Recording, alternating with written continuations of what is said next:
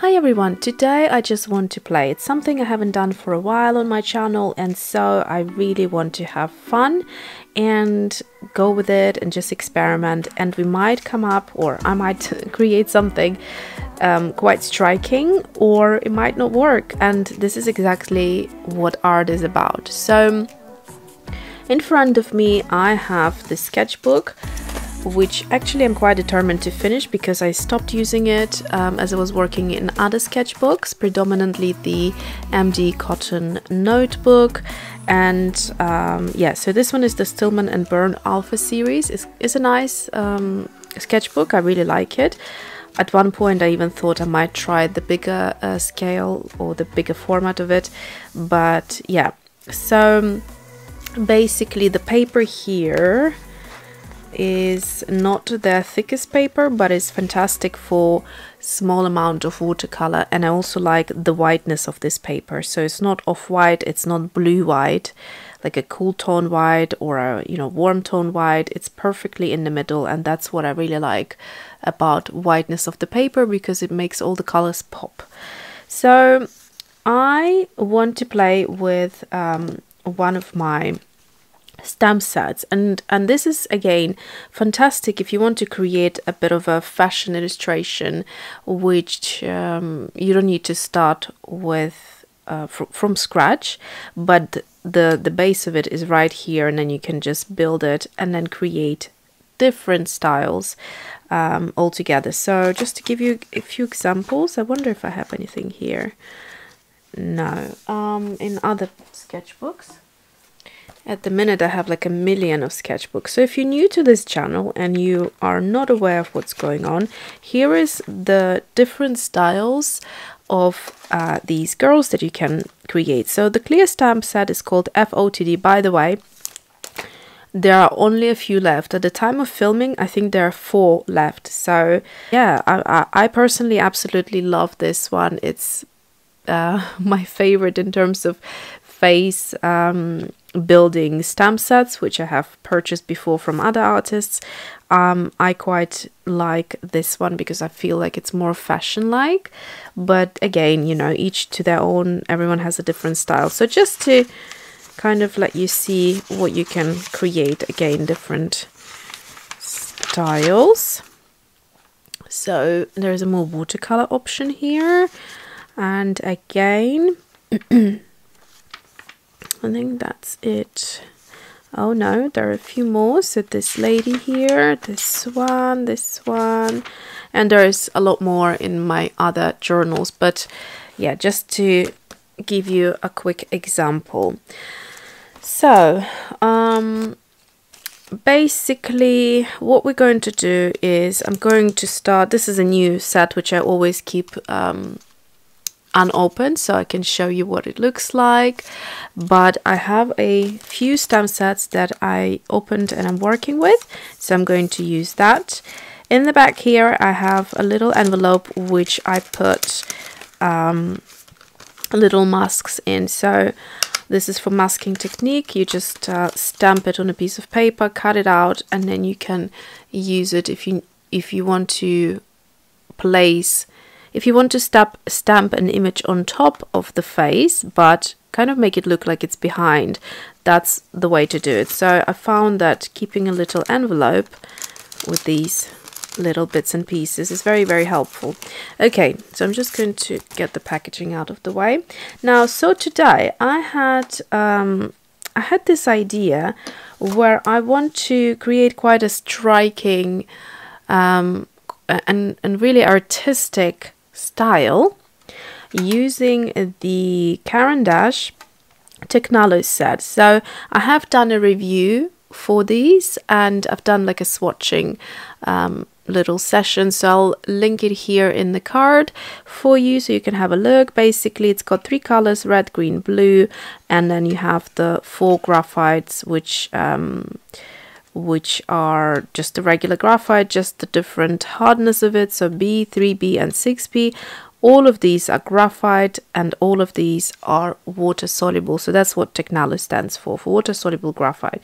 Fantastic quality, a little bit pricey, um, but I kind of feel like it's worth it. The, the quality is really fantastic. So what I want to create is this sort of monochromatic um, look, working with the graphite for shadowing.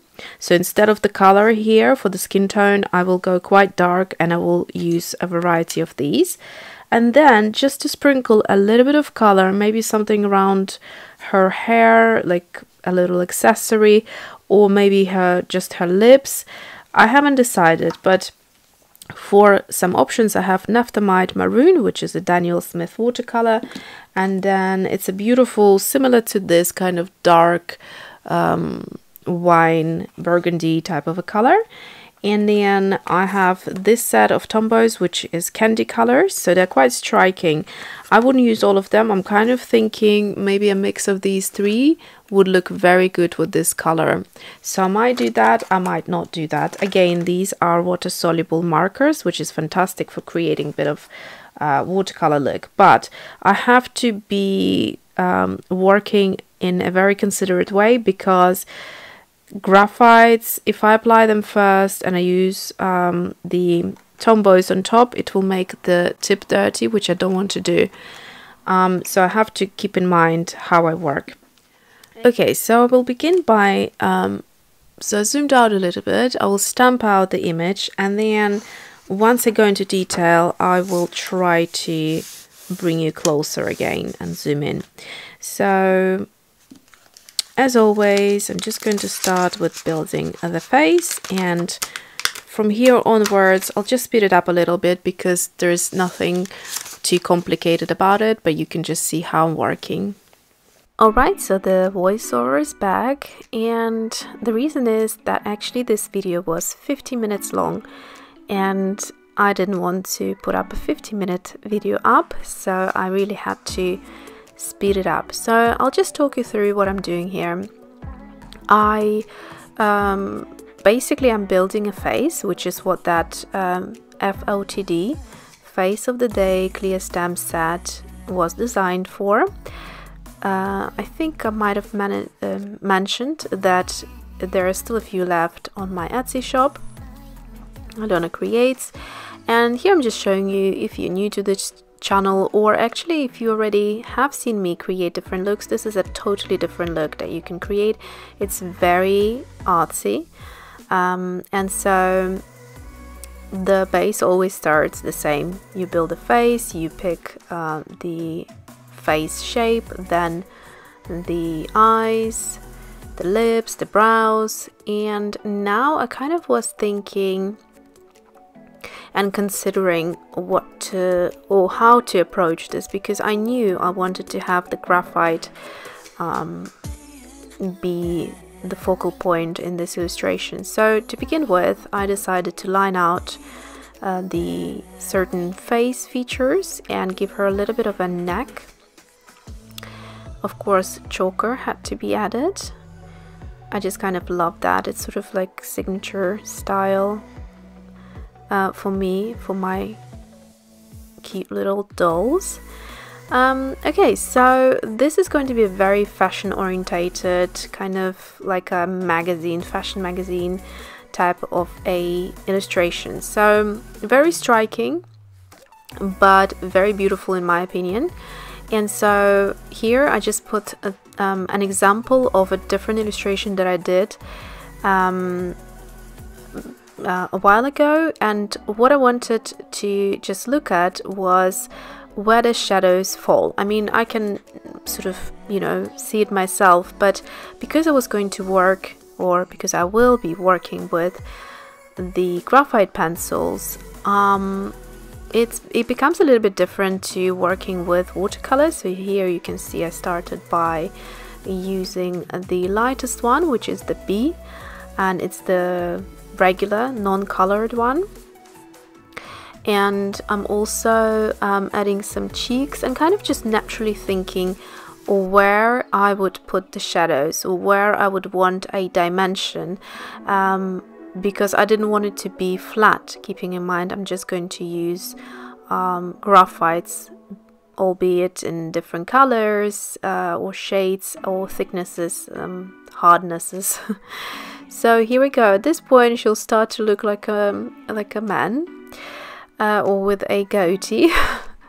but I promise you, it will uh, it will become a little bit more clear. And this is where uh, what I mean when I say it is a little bit challenging to work with graphite because it's sort of all is grey and then you have to think about where to add the lighter grey or where to press harder, where to create darker greys, um, which is harder than if you mix colors and create shadows with different colors.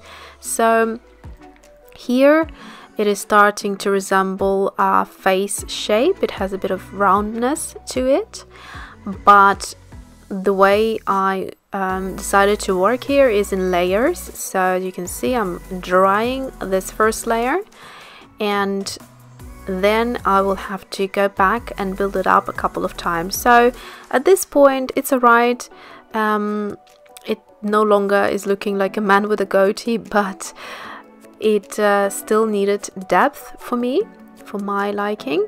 And so I'm just highlighting the um, darkness where I wanted it. So underneath the nose, above the cupid's bow, underneath the lip, um, and again at the sides of the face and particularly the forehead as well as a little bit down the neck as well.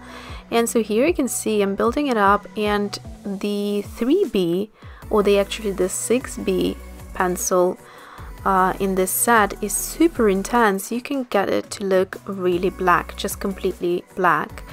Um, if you wanted to do that you'd just need to build it up in a couple of layers.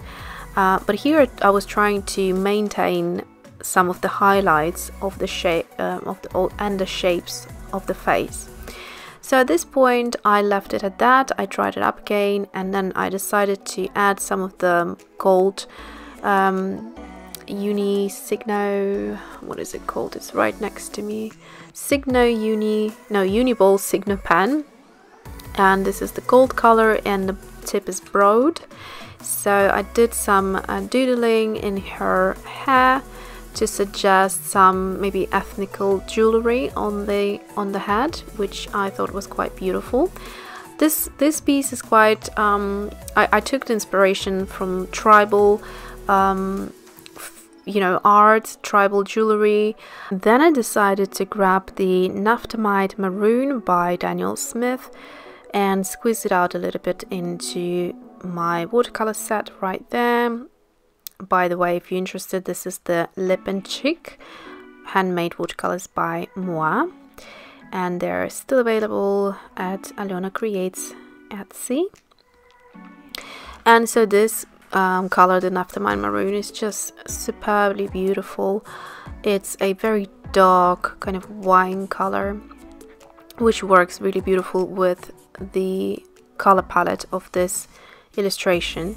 Normally in my illustrations, I don't really do color in the eyes. I tend to kind of give them gray um, eye color, which is an eye color obviously, but I sort of stay away from colors um, or any other colors but here I really wanted to give her turquoisey blue colors again which is a perfect uh, combo with the gold and the uh, wine burgundy watercolor so uh, at that point I um, went back to the Finetec and I'm using this um, gold watercolor here, which is the middle color. I forgot what it's called. Let me just pull it out if I can. Yes, it's right here. So the color is called Gold Pearl and it's really uh, a beautiful gold and it just intensifies it. It's really opaque and it's just really,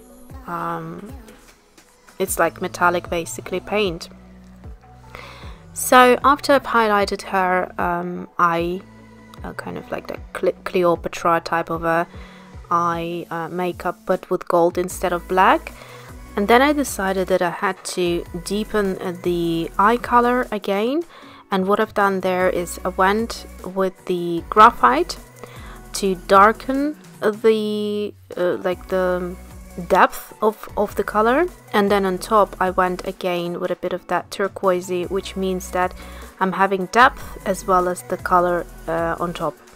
And um, so now I decided to add some doodling into her hair at the beginning I wasn't sure what I wanted to create I thought I'll go for a floral crown but as she ended up being so fashion artistic kind of amazing um, and tribal, I decided to give her a crown out of these twigs and leaves. And it's very easy to do, you just um, doodle some basically leaves that come into your mind. Here I decided to get three colors from the uh, candy, what's it called? Candy colors of the Tombow set. I will try to link it down below. These are all of the three turquoise kind of um, colors. Two of them are quite translucent. I'm also mixing the three colors together to get a watercolor effect and a bit of dimension as well and it just really looks pretty.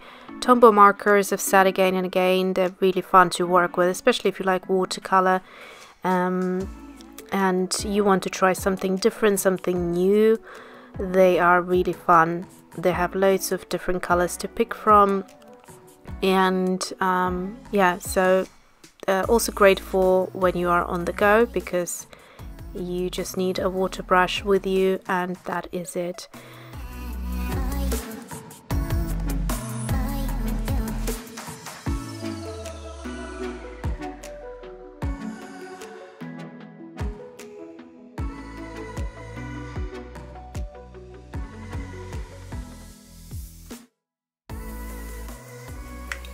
Okay, so as I've been doing that, I also noticed that I want to soften out these pencil marks a little bit more here.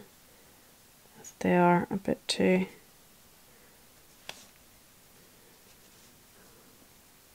scratchy. Right, so at this point I'm going to take a very, very thin doodle pen because I'm not going to add any water on top. This is the Muji 025 and I'm just going to draw a line in the middle of the leaf. Very simple doodle. Make the line curve a little rather than just a straight one. That will look a bit more organic I find. Also it will give a shape to the leaf as well. So this is quite fresh. It's quite different to um, the styles I did before and I really enjoyed it. I think that's what I want you to, um, or I want to encourage you doing, is pick up a few art supplies and just don't do don't don't pick up like a pile of them you know the less you pick up the more likely you are to create something you really really will enjoy. So I'm just doodling a few extra uh, lines here and there on the leaves. And you don't need to do it across all of them. Just maybe do one, one or a few of them and then just leave them. Okay, so that is it for today and I hope you enjoyed this beauty. She's gorgeous. I would love to frame her. She's like a Amazonian queen. Alright, so thanks for watching and see you soon.